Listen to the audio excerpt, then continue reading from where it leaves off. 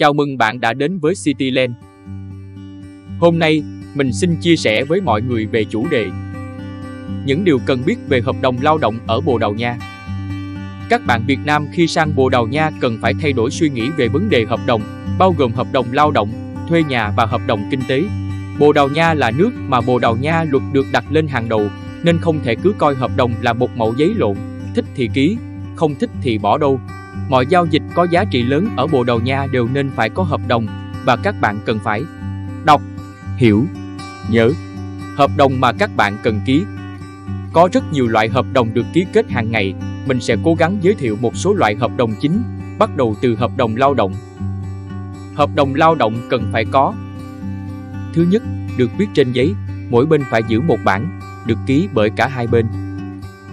Thứ hai, tên, địa chỉ của công ty tuyển dụng. Thứ ba, tên, địa chỉ, số giấy tờ của người được tuyển dụng. Thứ bốn, thời hạn hợp đồng từ ngày bắt đầy làm việc. Hợp đồng trong thời gian bao lâu thường là một tháng, ba tháng, một năm, hai năm hoặc không có thời hạn. Thứ năm, thời gian và điều kiện làm việc, làm việc toàn thời gian hoặc bán thời gian, bao nhiêu giờ một ngày. Thứ sáu, mức lương là bao nhiêu. Thứ bảy, thời hạn hủy hợp đồng lao động có thể là 2 tuần, 1 tháng hoặc 3 tháng.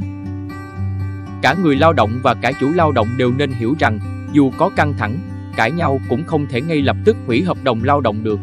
Muốn hủy ngay lập tức, một bên phải vi phạm nặng nề một điều nào đó được quy định trong luật hoặc nội quy của công ty, say rượu, trộm cắp, chứ không thể nào chỉ vì bất đồng quan điểm. Nhân viên không thể tự ý bỏ ngang việc được, mà dù ghét chủ đến mấy, cũng phải đi làm nốt cho tới hết thời hạn hủy hợp đồng thường là 2 tuần đến 1 tháng. Nếu không làm điều đó, chủ có thể kiện ra tòa, ảnh hưởng sau này cũng không nhỏ, nhất là chuyện giấy tờ. Ngược lại, chủ cũng không thể tự ý thích thì cho nó nghỉ. Nếu không muốn nhìn mặt nhân viên đó và yêu cầu nhân viên đó không đi làm nữa thì vẫn phải trả lương trong thời kỳ chấm dứt hợp đồng. Nếu không làm điều đó, nhân viên có thể đưa ra tòa và chủ lao động có thể sập tiệm. Đừng cười khẩy, bảo, ra tòa thì làm gì, cãi nhau còn lâu lắm. Tòa dành cho việc này là tòa án đặc biệt, gọi là tòa án việc làm, thời hạn của họ xử rất nhanh, thường chỉ trong vòng 2 tuần từ ngày đệ đơn. Và khi có bản án rồi thì lại há hốc mồm. Đó là lý do tại sao người lao động luôn luôn phải lấy một bản hợp đồng lao động của mình, nếu chủ công ty không đưa đó cũng là phạm Bồ Đào Nha. Chỉ cần một cú điện thoại gọi lên, thanh tra lao động quốc gia, họ sẽ xuống kiểm tra công ty gần như tức khắc, nhẹ là phạt hành chính, nặng thành tội hình sự, đóng cửa công ty. Hiện nay có rất nhiều người đi sang đây, xin nhờ vào các công ty, thông qua dịch vụ. Tuy đó là các bạn làm lậu với nhau, nhưng trên giấy tờ, luật vẫn là luật, chuyện các bạn thỏa thuận ngầm với nhau là việc riêng. Dịch vụ không thể tự ý cắt hợp đồng của người làm giấy tờ, cũng như người làm giấy tờ không thể tự ý bỏ, không nộp bảo hiểm cho họ, vì nếu trong trường hợp muốn xử nhau, thì cả hai bên đều chết. Khi các bạn đã ký hợp đồng với nhau, có nghĩa là các bạn đã tự buộc nhau lại, có bất kỳ gì cũng phải từ từ mà giải quyết, thỏa thuận, không ai xin cho ai cái gì cả.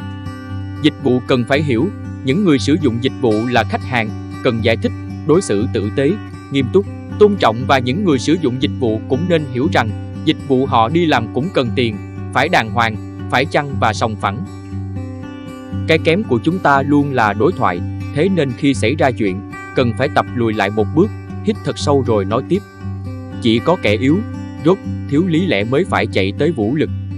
Nếu để vỡ ra, xảy ra chiến tranh thì tất cả cùng chết, dịch vụ, người sử dụng dịch vụ đều giống nhau, thế nên đừng mất thời gian dọa nạt nhau làm gì, chỉ thêm bực mà thôi.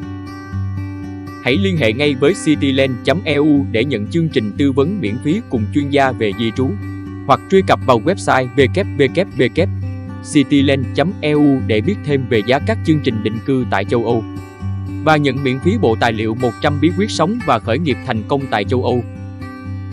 Chúc anh chị có một ngày tuyệt vời, chúc cho cộng đồng người Việt Nam tại châu Âu ngày một phát triển.